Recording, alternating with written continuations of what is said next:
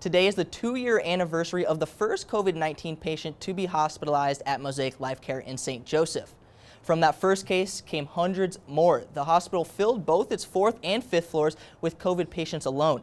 Most other surgeries and other non-emergency procedures were canceled.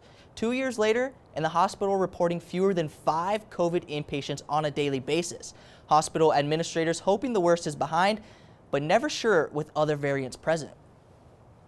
Was the first hospitalization. March 17th was when the world shut down. And if you look at the way that we've progressed with COVID, that phase is done. And it's really great to get back to some normalcy. Now, again, the question will be is how long does it last? And do we have, do we have another large blip of, the, of COVID, the next variant, you know? Will this happen to us again? And that's the uncertainty that it brings. But it's great to be back to kind of what we call normal.